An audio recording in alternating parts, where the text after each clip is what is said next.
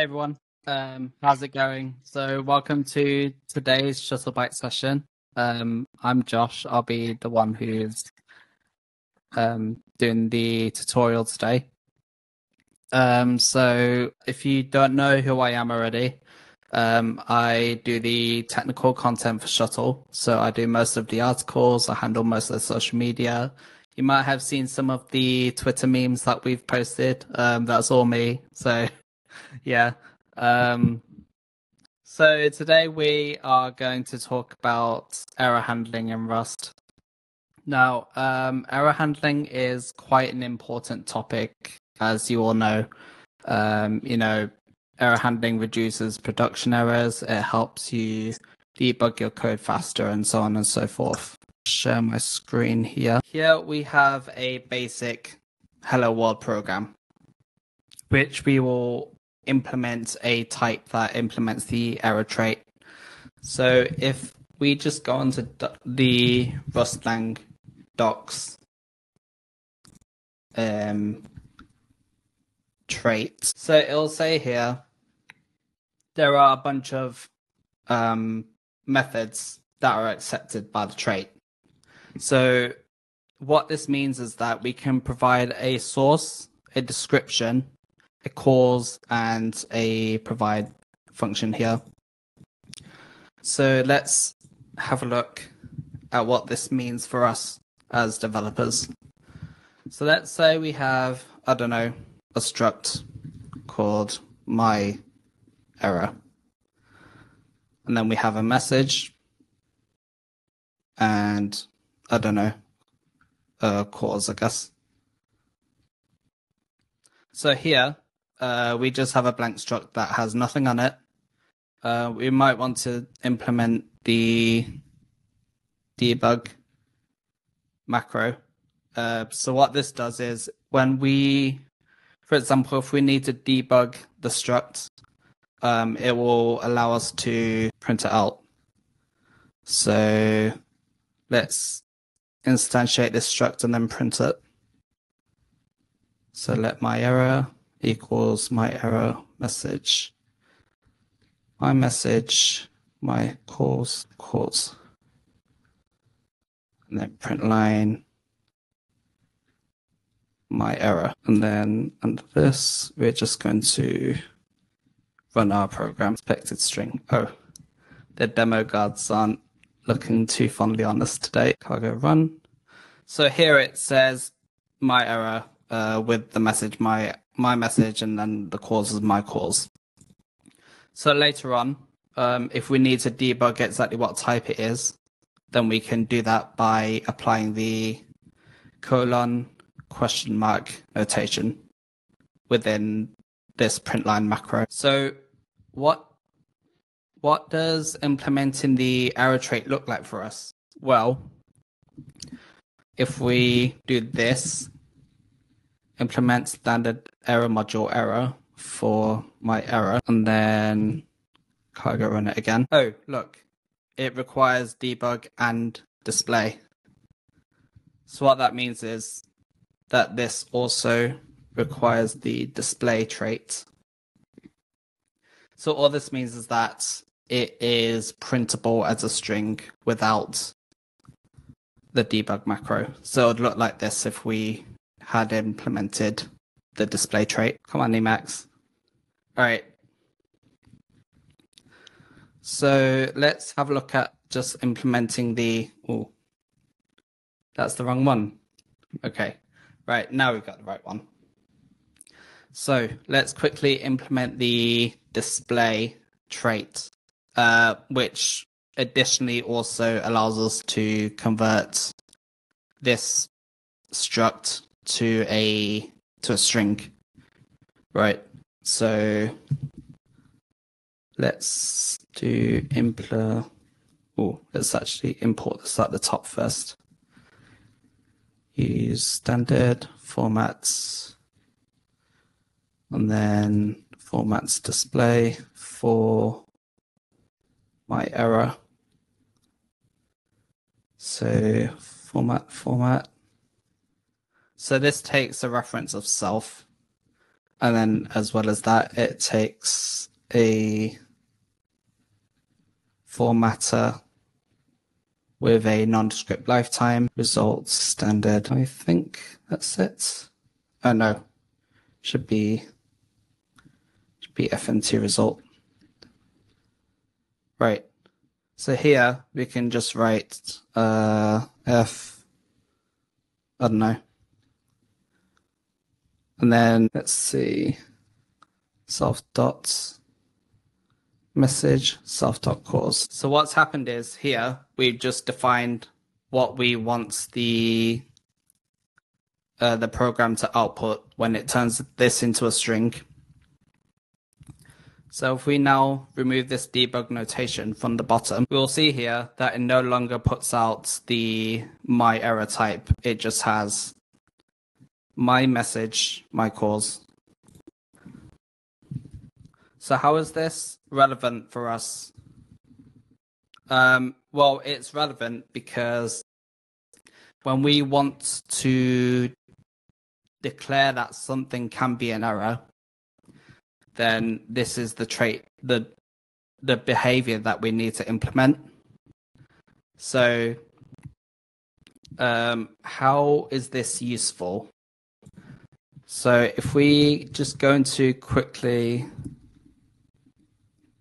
one of our favorite libraries, Axum, into response. I believe this should be it. No, that's not it. That also isn't it. But nevertheless, um, so the reason why this is important is because, for example, you know, the compiler needs to know that it can be an error. So obviously this can also be used in a function. So so let's set a f- function that does a thing. I don't know, uh, no return type, and then my error. If true, return my error um, message failed cause undefined. I mean, undefined in Rust, not really a not really a thing, I guess. But here we are. And then at the end here, we can just return. Okay. So this okay thing just means the result returned okay, but we're not returning anything. So here we just need to put a unit value. So here, if we try to do a thing, and then I don't know, unwrap it, and then we try to run it. I'll say here chord result unwrap on a error value, my error, because we told it to return an error up here. So that kind of sucks. Um, so let's fix this very quickly. So we can just quickly do this and then it'll be okay again.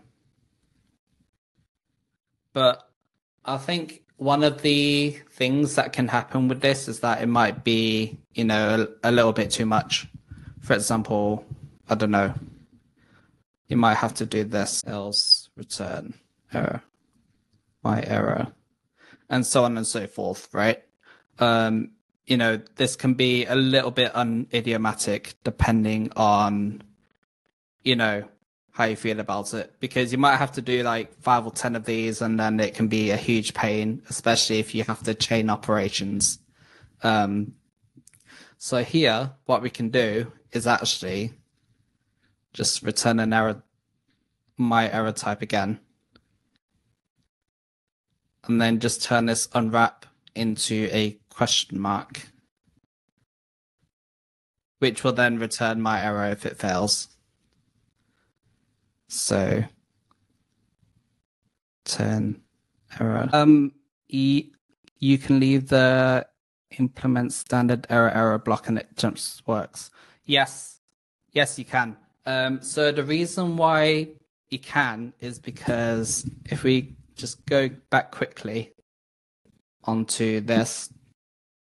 So what this says is that these are all provided methods Now, when you use provided methods in a trait, what that means is that the trait has already defined it for you. So if we just go in the source here, so here you can see there's already a there's already like um, a definition for the function here.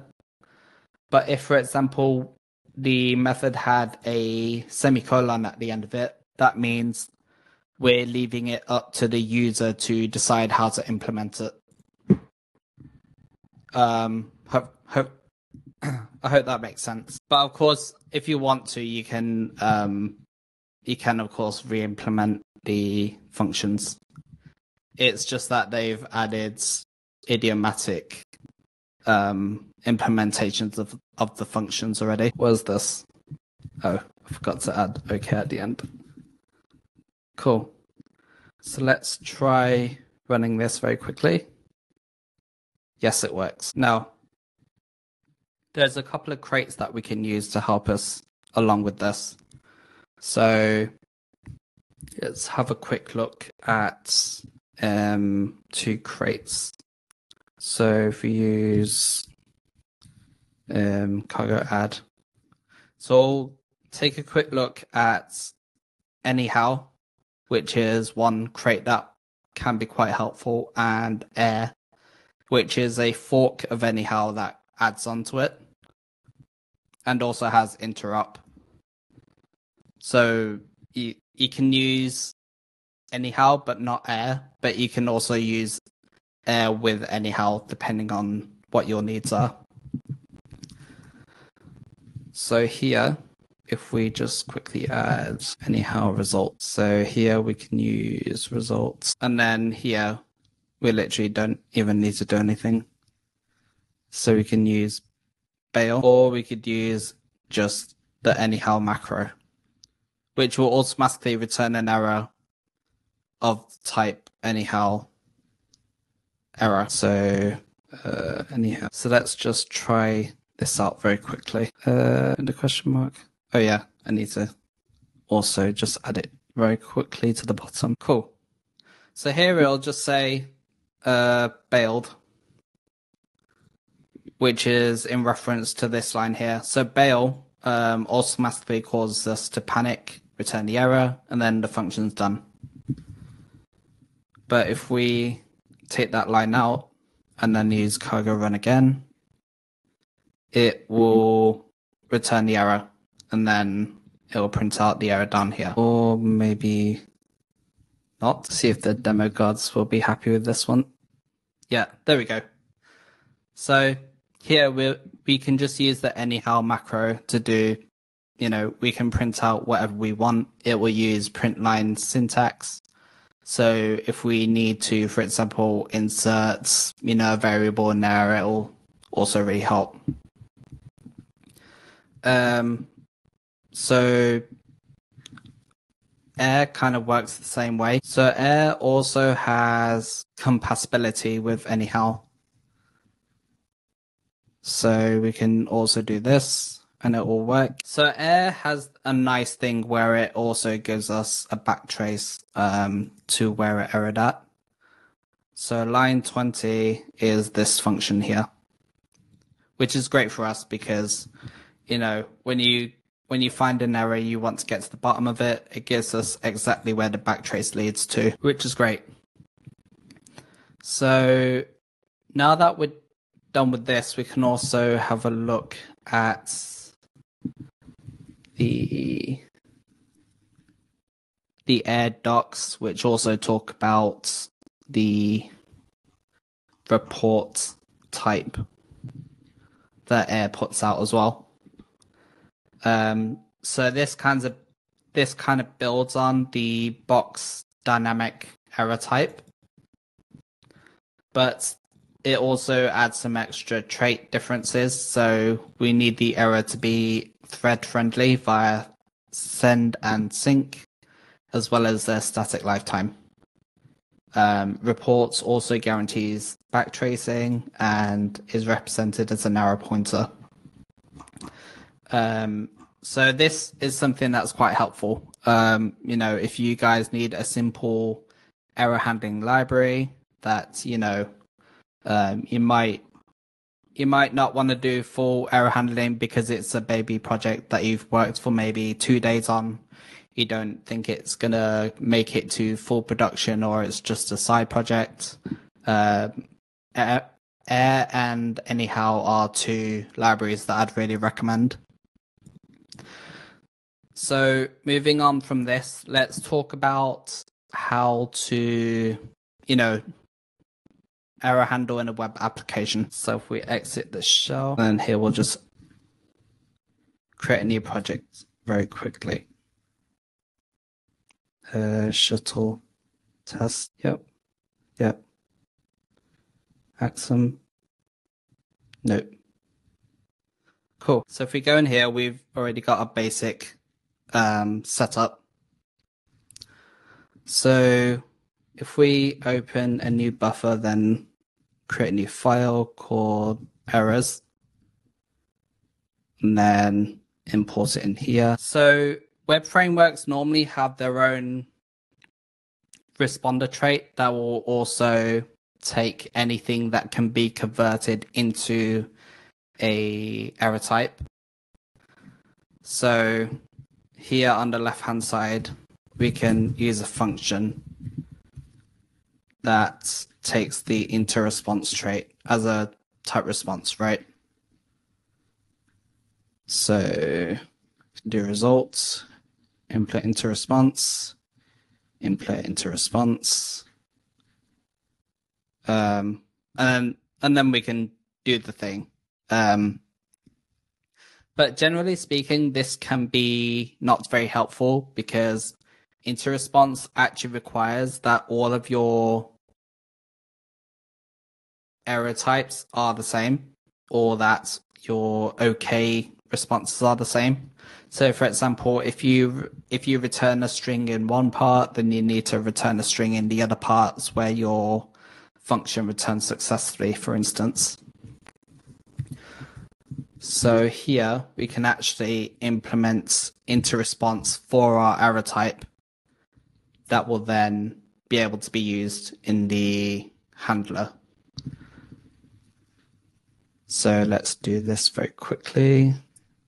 SQL, I don't know, forbidden, unauthorized, and then we'll just do this into response implementation. Response into response, HTTP status code, and then we'll, it takes self because it consumes the body of the request.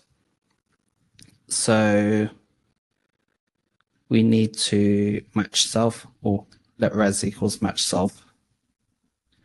And then we here we just use um, pattern matching. Status code,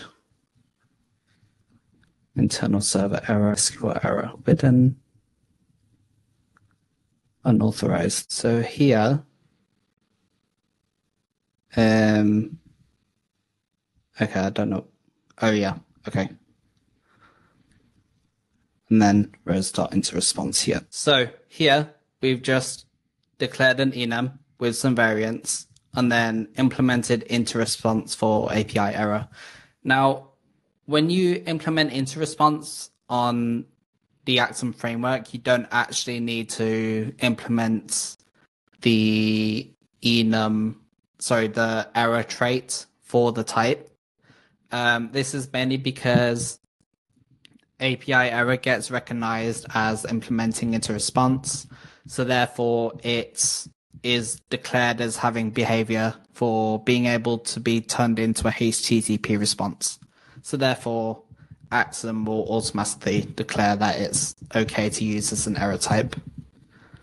So here we can use API error and then use errors. API error, right? Cool. Uh, API errors is private. Should fix that very quickly. I think. Yeah, cool. Fix itself. Okay, status error. Status code. Okay. and then we'll just do a quick import up here. Right. So we've done this, and you know that's okay and all. Um, but what about, for example, you know, when you have an SQL error from the SQLX library, right? You, I mean, you know, you could implement from T. Um, so in this case, be from SQLX error for API error, and then do the function.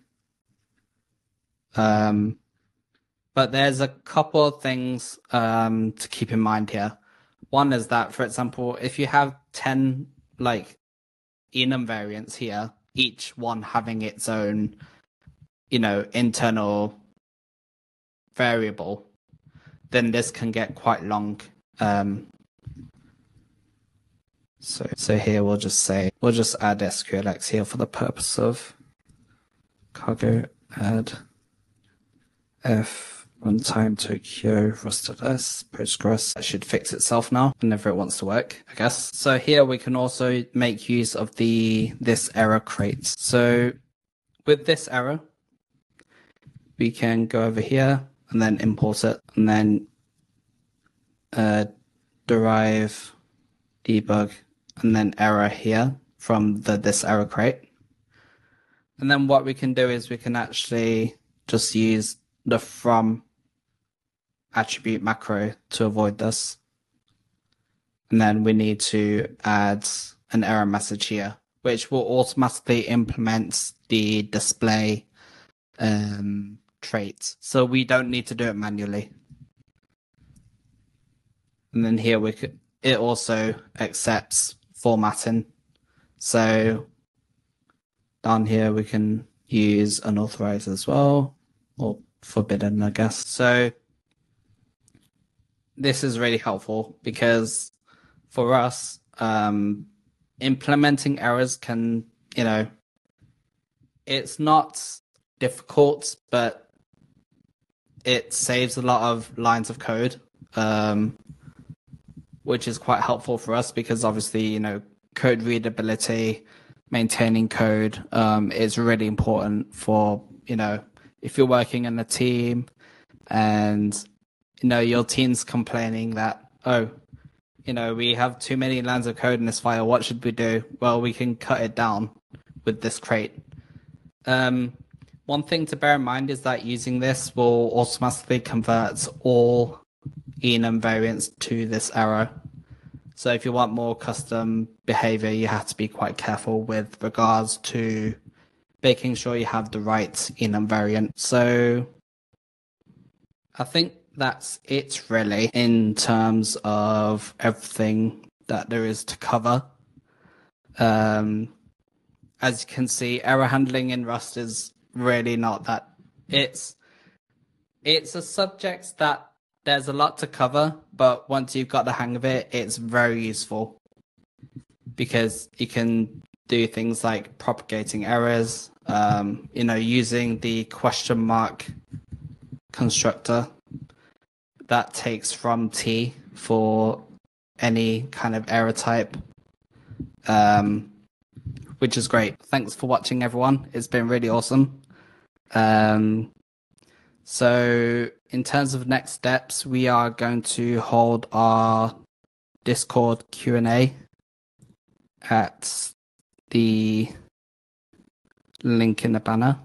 Um, if you want to join us for the Q and A, um, feel free and yeah,